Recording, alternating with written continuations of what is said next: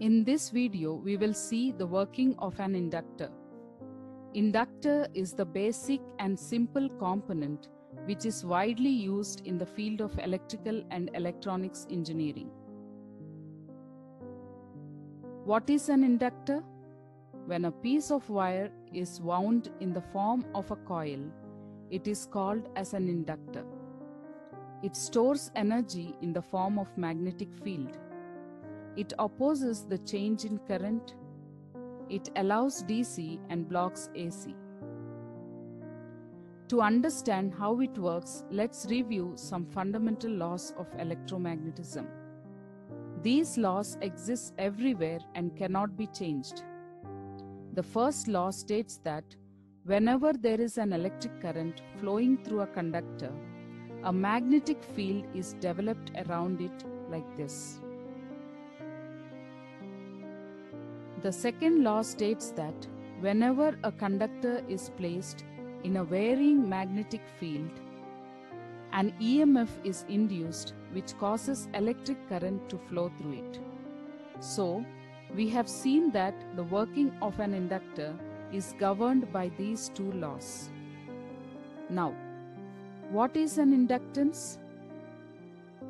To understand the property of inductance, let's take an inductor and see that the current flows through this inductor. Let us suppose the current is flowing through the inductor in this direction. Now this current creates a magnetic field which is linked with the neighboring coils, inducing an EMF in this portion, setting up positive voltage on one side and negative voltage on the other side.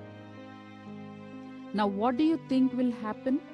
Due to this potential difference, current flows from positive to negative so as to oppose the main current. Now, two currents cannot flow in a single wire. The induced current, instead of cancelling the main current, reduces the magnitude of the main current. Now, this tendency of an electrical conductor to oppose the change in electric current flowing through it is called as inductance and it is denoted by the letter L. Inductance is given by L is equal to pi n by I, where L is the inductance, pi is the magnetic flux, n is the number of turns of the coil, I is the current flowing through the coil. It is measured in units called Henry. Now, let's apply a DC voltage to the inductor. Initially, there is an opposition by the induced current, but as the magnetic field comes to a constant point, this opposition dies off and the current gains a constant value.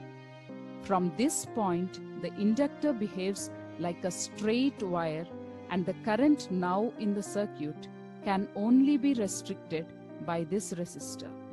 So, these are some of the basics we need to know about the inductor. Hope you have understood. Thank you. Have a good day.